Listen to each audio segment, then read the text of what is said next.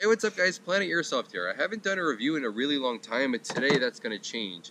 This is a little bit different than my usual reviews would be like though, because today I'm reviewing a magazine. I've never done that before because magazines are relatively boring, however these definitely deserve a review. These are the PTS, EPM, or Enhanced Polymer magazines.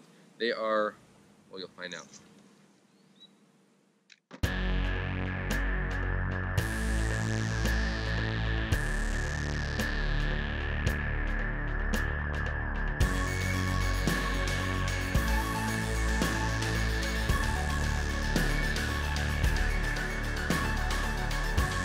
Before we get started, you guys need to check out Next Level Tactical's high quality new gear line. I'm going to put the link in the description below. It's nltgear.com. Use the coupon code PA2017 to get 20 freaking percent off. It's a lot of percent off. So for starters, I'm definitely pronouncing this wrong, and I have no idea what it means either, but it's a DuPont Zytel polymer shelf, which is the outside of the magazine, and I don't know what that means, like I said, but it is strong as hell. You can abuse the shit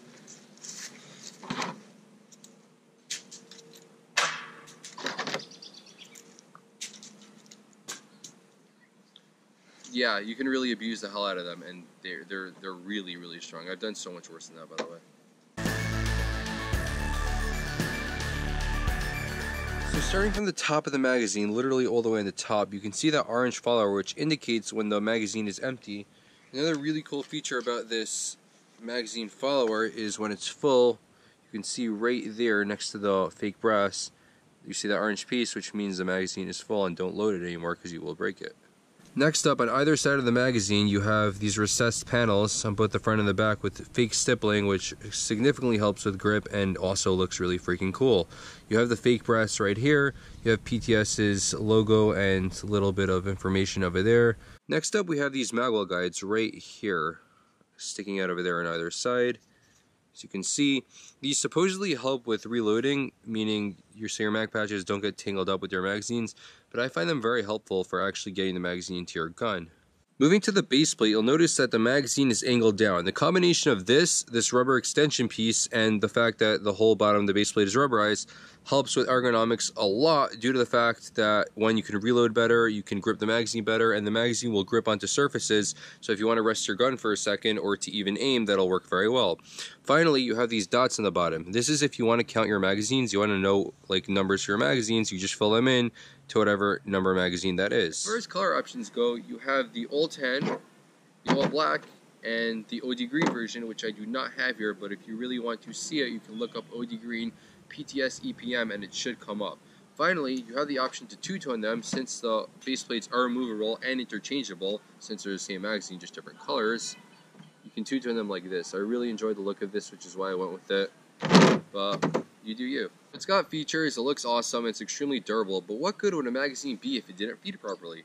Let me just say that these magazines are by far one of the best feeding magazines I've ever used in my life. I tested in over 10 guns, no exaggeration. I tested in Maruis, VFCs, a bunch of classic army guns, Lancer tactical guns, a whole bunch. And I've yet to find a feeding issue in any single one of them, which is incredible to me.